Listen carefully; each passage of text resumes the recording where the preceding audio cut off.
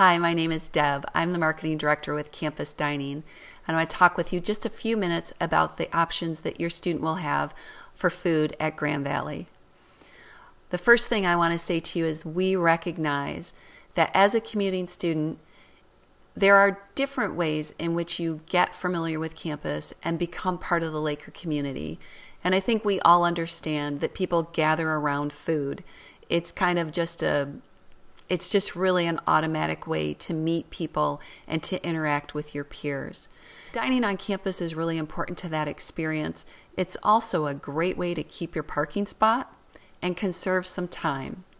So, we have 22 dining locations around campus.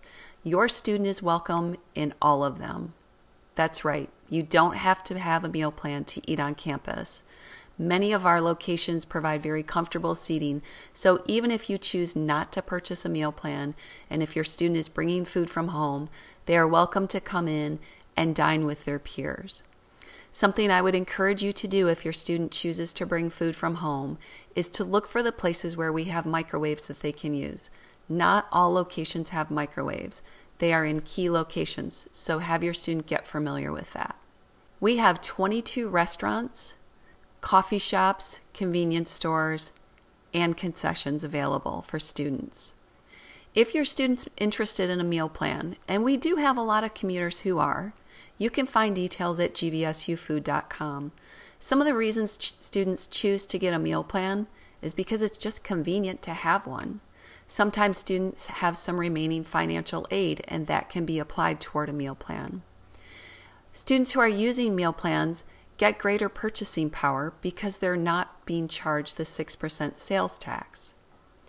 Also, transaction times are faster, and you don't have to worry about carrying your own cash, credit, or debit because meal plans are accessed by the barcode on the back of your student ID. Meal plans are a great way to also teach budgeting.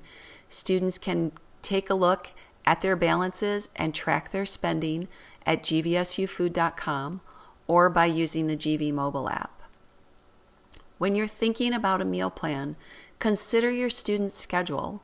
Consider the time that they'll arrive on campus and how much of the day they'll spend on campus.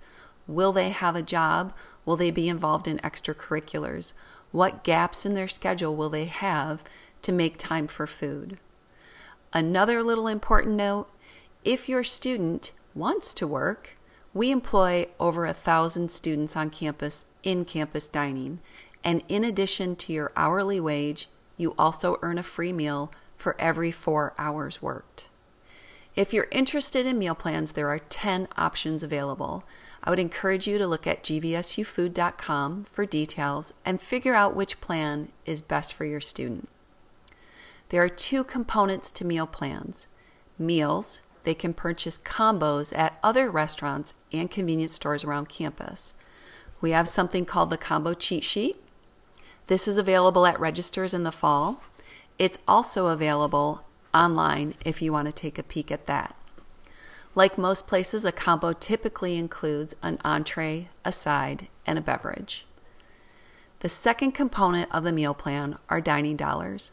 Dining dollars are a debit account specific to food purchases on both the Allendale and Grand Rapids campuses. Dining dollars can also be tracked, as I mentioned earlier, with the meals on gvsufood.com or the GV mobile app. When you're purchasing a plan, I would recommend that you auto enroll in the winter semester as well. And the reason I say that is there's no danger in doing that. If your student decides they want a different meal plan, or even if they want to cancel their plan for winter semester, they can do that in early January with no financial penalty whatsoever.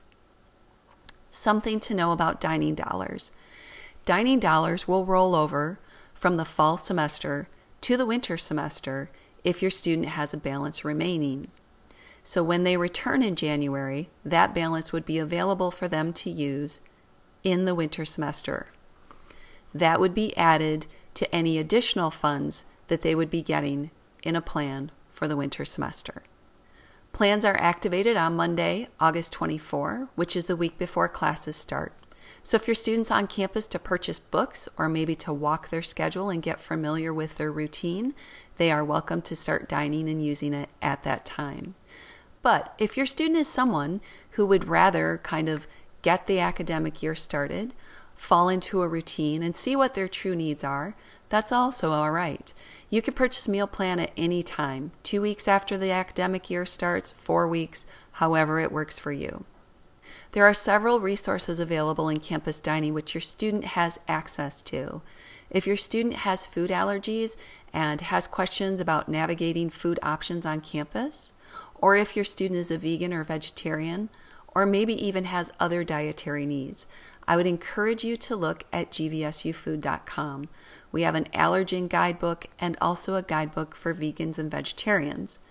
We also have a registered dietitian available who will consult with students one on one.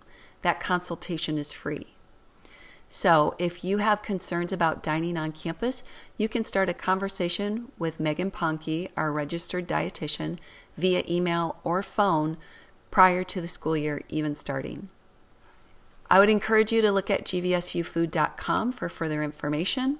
You can also email us if you have specific questions. It's at gvsufood at gvsu.edu or you can call us if phone is the way that you'd like to go.